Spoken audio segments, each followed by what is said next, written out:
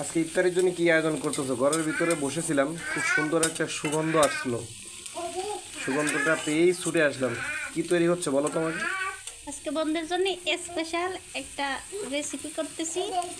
এটা অনেকেরই জানা আলুর চপ কিন্তু একটু স্পেশালভাবে করতেছি। একটু পরে দেখাবো।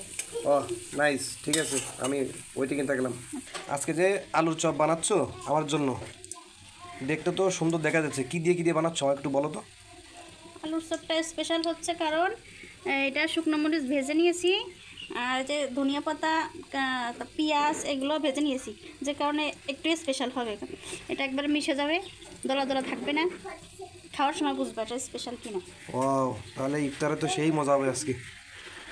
ঠিক আছে। দর্শক দেখুন আসলে কিন্তু আলুর চপটা সেরকম একটা কালার আসতেছে। ইনশাল্লাহ ইফতারিতে খাব এবং দেখাবো কতটুকু স্বাদ এসে আপনাদেরকে জানাব। ধন্যবাদ।